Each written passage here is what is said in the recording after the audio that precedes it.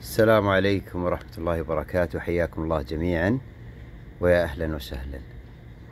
أه، ألاحظ أنه في كثير من مواقع التواصل الاجتماعي وفي الجروبات والأشياء هذه أنه الكثير من إخواننا وأخواتنا الكرام يحكمون على أسمدة معينة بجودة الأداء أو بسوء الأداء.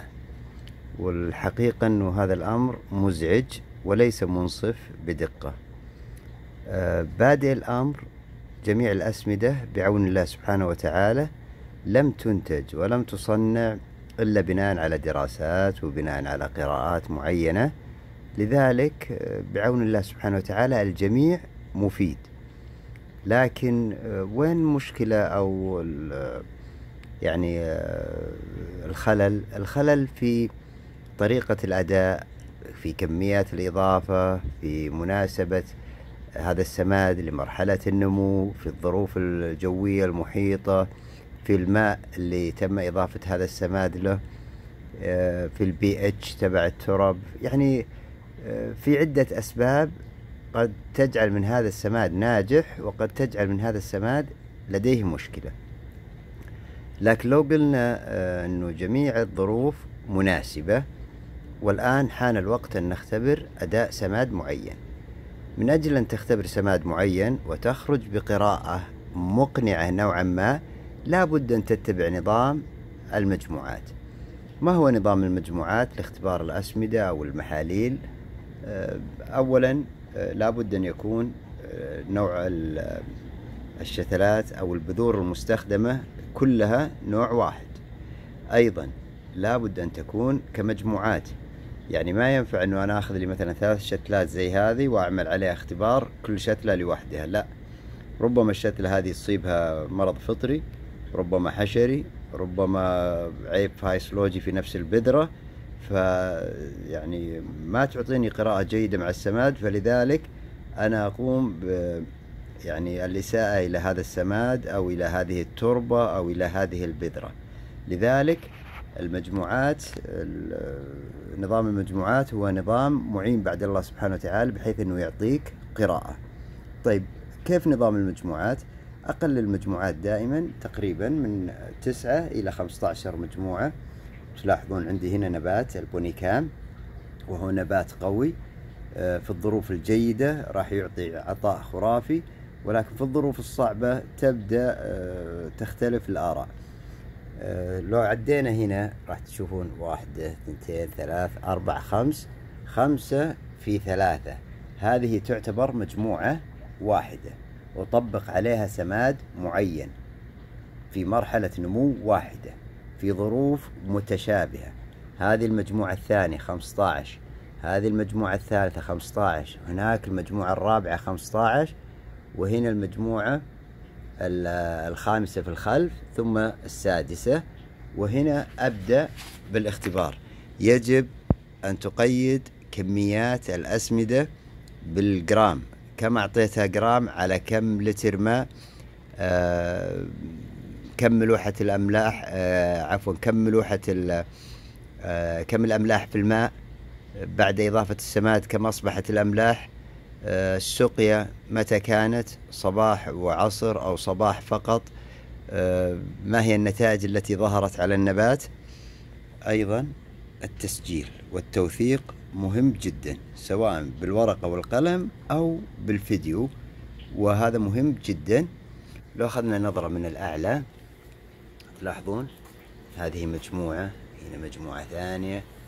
المجموعة الثالثة الرابعة الخامسة السادسة. وندون جميع ما عملنا من أجل أنه نخرج بنتيجة.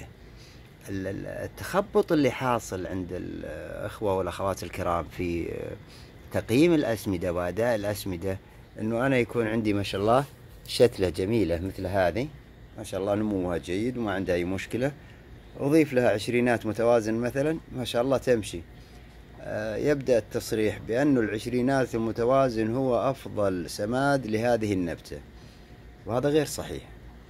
طيب لأنه لو أنت أضفت مثلا عالي الفسفور أو عالي النيتروجين أو عالي البوتاسيوم أو أي سماد آخر ربما يعطيك أيضا نفس النتائج.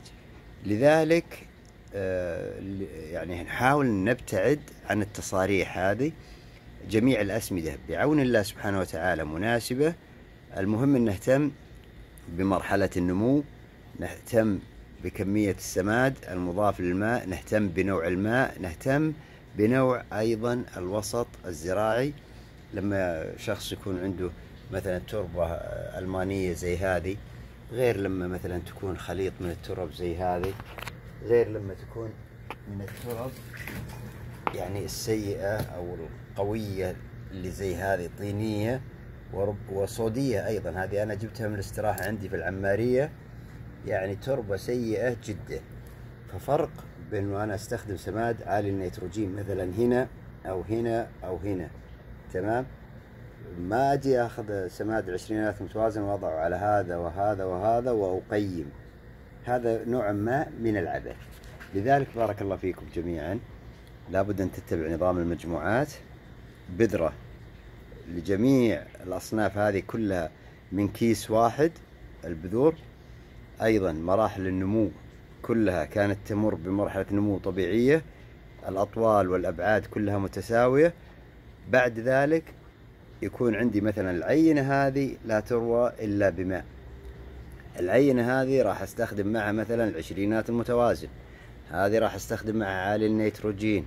عالي الفسفور عالي البوتاسيوم راح استخدم هنا مثلا السماد العضوي راح استخدم الطحالب البحرية سماد السمكي السائل أو غيره.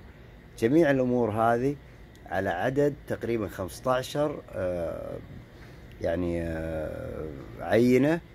بعون الله سبحانه وتعالى راح تجعل عندك نوعا ما من التقدير الجيد لأداء هذه الأسمدة. وليس أنه أنت أصبحت مختبر لا. ولكن هذه الطريقة الصحيحة وليست أنه أنت تحضر شتلة واحدة زي هذه وتبدأ في التقييم.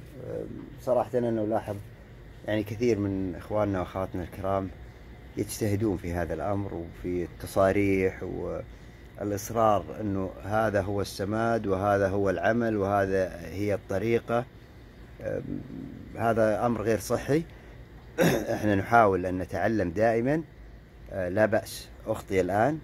بكرة أخطي أيضا بعده أصيب وأبدأ أصحح لنفسي وأصحح للناس. أيضا ربما يوجد عندي أه، في قناتي في اليوتيوب تقريبا 800 فيديو أه، ربما يكون مثلا نسبة 10% منها فيها معلومات خاطئة ما يمنع. ولكن مع الأيام ومع التقدم أنت تطور من نفسك وتحسن من نفسك بشكل أفضل. نسأل الله سبحانه وتعالى يوفقنا وإياكم. طبعا أنا أجري آه، يعني بعض التجارب الخاصة ولذلك تلاحظون النبات متفاوت في الألوان وفي الأداء. وطبعا التجارب هذه كلها داخل بيت محمي. أيضا يوثق هذا أنه تجربة تم عملها داخل بيت محمي. لما تعملها في يعني أراضي مكشوفة توثق أنه تم عمل العمل هذا في أراضي مكشوفة. كل هذا معين لك بعد الله سبحانه وتعالى إذا أردت الاستمرار في المجال الزراعي تصبح قادر على اختيار السماد المناسب على التقييم آه، الأداء على معرفة الاحتياج كل هذا مهم جدا. أيضا لا ننسى القراءة ومتابعة القنوات المفيدة سواء في اليوتيوب أو على التلفزيون مثل قناة مصر الزراعية وبعض القنوات.